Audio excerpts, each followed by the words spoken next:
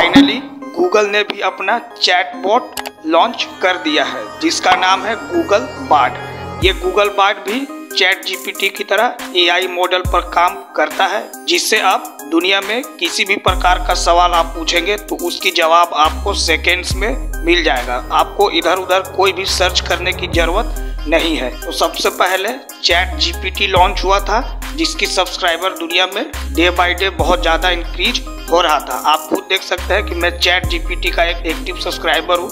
हमारे chat board पर आपको ये सारा कुछ देखने के लिए मिल जाएगा, जैसे कि ration card, thumbnail idea Google ads, watch time आप देख सकते हैं कि मैं खुद इससे सवाल जवाब पूछते रहता हूँ। आप यहाँ पर देख सकते हैं, कोडिंग के लिए मैंने पीएचपी के स्क्रिप्ट लैंग्वेज भी पूछा है। लेकिन चैट जीपीटी और गूगल बार्ड में ह्यूज डिफरेंस है। वो सबसे बड़ा जो डिफरेंस है, वो है कि चैट जीपीटी के पास रियल टाइम डाटा नहीं है। और बात करूँ मैं बार्ड ए की तो बार्ड के पास रियल टाइम डाटा है। रियल टाइम डाटा का मतलब है, यानी कि चैट जीपीटी में 2021 तक का डाटा फ़ीड किया गया है और उसी हिसाब से वो आपको सवालों का जवाब देता है। यानी कि आप उनसे 2021 तक का ही सवाल पूछ सकते हैं। 2022 में क्या हुआ 2023 में क्या हुआ, इनसे रिलेटेड कोई भी आपके पास सवाल का जवाब है तो चैट जीपीटी आपको ये नहीं बता पाएगा। चलिए एक एग्ज़ाम्पल के तौर पर चैट जीपीटी से पूछकर कुछ देखते हैं जो 2023 में हुआ है। तो 2023 में हाल ही की घटनाएँ क्या है? चलिए इनसे पूछ लेते हैं। मैं इनसे एक सवाल पूछूँगा कि कर्नाटक का इलेक्शन रिज़ल्ट क्या है? जैसा कि आप स्क्रीन पर देख सकते हैं, हम इनसे पूछने जा रहे हैं, कर्नाटका इलेक्शन रिज़ल्ट क्या है? यहाँ पे एंटर कर देते हैं। तो आप यहाँ पर देख सकते हैं आई अपोलोजाइज मेन लाइन में आते हैं my knowledge cut off is in September 2021 यानी कि इसके पास जो डाटा है रियल टाइम वो सिर्फ़ सेप्टेम्बर 2021 तक का है। अभी 2022-23 का डाटा इसके पास नहीं है।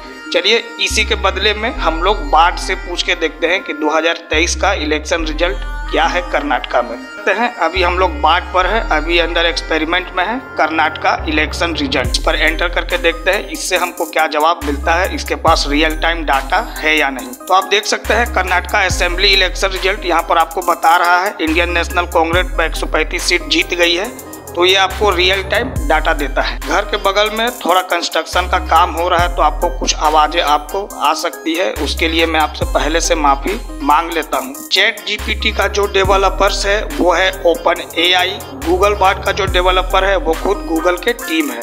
तो आप देख सकते हैं दोनों में हुज डिफरेंस जो है, वो रियल टाइम डाटा का है। अब हम लोग देख लेते हैं कि गूगल बार्ड हम लोग कैसे यूज़ कर सकते हैं। तो सबसे पहले आपको गूगल पर जाकर के लिखना है गूगल बार्ड एंटर कर देते हैं। यहाँ पर आपको देखने के लिए मिलेगा मीट बार्ड आप इस पर क्लिक कर देंगे। यहाँ पर आपको ट्राई बार्ड मिलेगा। इस पर क्लिक कर देंगे। देन टर्म्स एंड कंडीशन को आप एक्सेप्ट कर लेंगे तो आप बार्ड में एंटर हो जाएँगे। अब यहाँ पर आप आ गए हैं ऐसी दुनिया में जहाँ पर आप मैथ हो फिजिक्स हो केमिस्ट्री हो जीके हो, कोई भी प्रोग्रामिंग लैंग्वेज हो, जैसे कि P H P A S P जिस भी प्रकार का सवाल हो, आप इससे पूछ सकते हैं। चैट जीपीटी में आपको रियल टाइम डाटा नहीं मिलता है। आप इस पर किसी भी प्रकार का काम कर सकते हैं, किसी भी प्रकार का आइडिया मांग सकते हैं यूट्यूब का वीडियो बनाते हैं तो उसके लिए भी आप इससे स्क्रिप्टिंग टाइप करवा सकते हैं। तो आप देख सकते हैं पीएचपी का एक स्क्रिप्ट मैंने इससे टाइप कराया है, जहाँ पर मैंने लिखा है write a code to send mail in PHP इसने बहुत ही आसानी से हमें यहाँ पर यह टाइप करके दे दिया है। अब आप इसे कॉपी पेस्ट करके अपने प्रोग्रामिंग लैंग्वेज में यूज़ कर सकते हैं, खुद से उतना मेहनत करने का कोई ज़रूरत नहीं है। 180 कंट्रीज़ सहित भारत में भी गूगल बार्ट लॉन्च हो गया है। अब आप इस सर्विस को फ्री में यूज़ करके अपना टाइम सेविंग मनी सेविंग कर सकते हैं। उम्मीद करते हैं कि आपको ये वीडियो पसंद आया होगा। यदि हमारा वीडियो आपको पसंद आया हो तो हमारे चैनल को सब्सक्राइब कर लीजिए। वीडियो को लाइक और शेयर भी ज़रूर कीजिएगा, ताकि और लोग भी अपने नॉलेज में कुछ नया गेन कर पाएँगे। मिलते हैं आपसे आगे किसी और वीडियो में। तब तक के लिए बाय फ्रेंड्स